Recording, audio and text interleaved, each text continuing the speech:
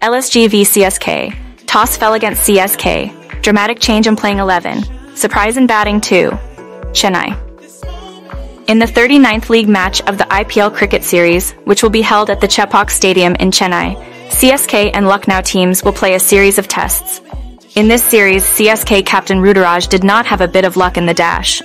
Ruturaj, who has now lost the toss for the seventh time, has been asked to bat first by the Lucknow team. Commenting on this, Lucknow captain KL Rahul said that it had been snowing at night for the last two days when he was training in Chennai. He also said that they are going to bowl first. Following this, CSK team captain Ruturaj mentioned that he has not had any luck in the toss in the series and has lost the toss seven times. We were there to bowl first. No changes were made to the Lucknow squad. Daryl Mitchell is expected to replace Rachin Ravindra, so fans are waiting to see where he will bat. CSK are batting first, and they are forced to score more than 200 runs.